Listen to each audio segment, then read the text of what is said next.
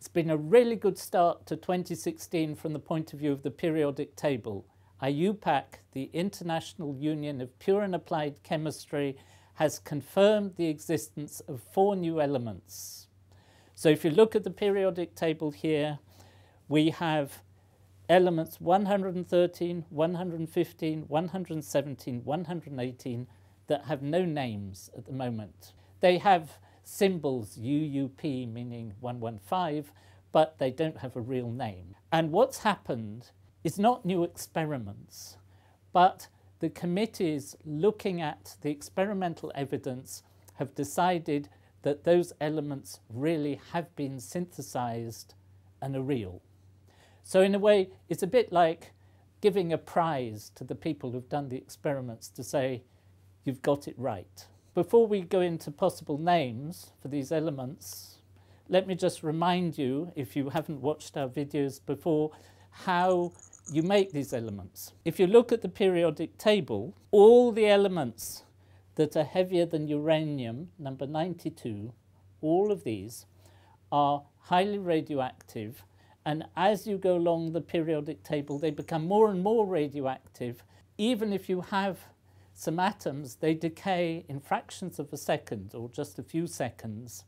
So you can't dig them out of the ground, you have to make them.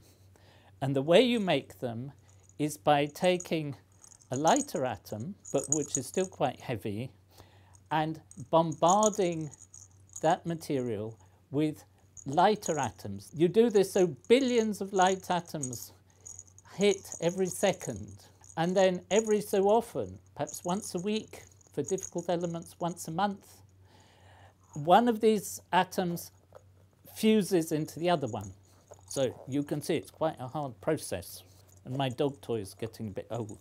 So now you have a combined nucleus. For example, we have element 95, americium, plus element calcium 20, 20 plus 95 makes 115, and bingo, you get an atom of the element. Of course, this atom is quite unstable, so you detect it by watching it decay. These elements here have been discovered in different labs, usually, but not always, as a collaboration between two different laboratories. And you have to understand that these are such specialized experiments that you will only find one suitable lab in a particular country, and often most countries don't even have such labs. So element 113 was first discovered in a lab in Japan. We have a video in Japanese about it for our Japanese viewers. 想像すると数百万の原子核が飛んだりビスマチにぶつかったりして And the other elements here, 115, 117, 118, were collaborations between US lab and the research center in Dubna near Moscow. And so the experiments were done in Dubna, but the precursors, the radioactive materials like berkelium, which were the heavy element that we crushed into, were prepared in America and flown over. Now you have to understand that the way that IUPAC operates is that after the first lab has done the experiments, they require somebody else to do the repeat of the experiments to make sure the first ones are right. So although, for example, I might have done the first experiments, I don't synthesize elements, but just as an example, then somebody else will confirm my results. So it's only polite and I think, nice to talk to the other people before choosing a name. There are certain rules. You can name it after places, countries, people, but the important thing is the person has to be a scientist who's dead. My feeling is, and I have no idea what the names are going to be, but I think element 113 is likely to have a Japanese name because the Japanese lab at Riken has been told they can choose the name. There is a fruit, which some of you may know, called japonica. So you could imagine a name something like Japonicum, based on Japan. It would have the symbol JP.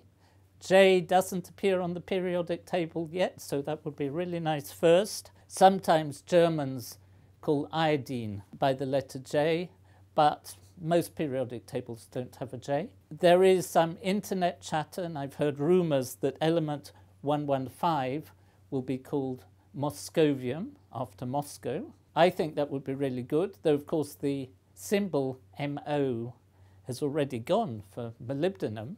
I like Moscovium because my father was born in Moscow. I have also suggested that element 117 should be called after Richard Feynman, the famous physicist, Feynmanium. But some viewers already said that Feynmanium should be left for element 132, which Feynman predicted might be stable. So we'll have to see. I feel probably that the most thought will be given by people to element 118 because that's the highest number currently on the periodic table. And I have no idea what they will choose. You will see all over the press people are saying the periodic table is now complete, which in a way it is that we have finished this row of the periodic table, the seventh row as you go down one, two, three, four, five, six, seven. But I see this just as the beginning. The field is now open. Can physicists now synthesize elements which will start row number eight down here? The first element that's likely to be synthesized is one 120 because even numbered elements are more stable than odd numbered elements. And so it will be really interesting to see whether one of these elements can be made soon. Periodic table is always waiting for new results. In fact, we already have a video about the possibility of element 120, which you can watch if you're interested. Chemistry is not finished. This is just the beginning, and I hope that 2016 is going to be a really exciting year for chemistry and for science in general. So again, Happy New Year to you all. Great success in your science and keep watching. 元素がアジアで認定されるっていうのは初めてですよね。それから命名も楽しみにしています。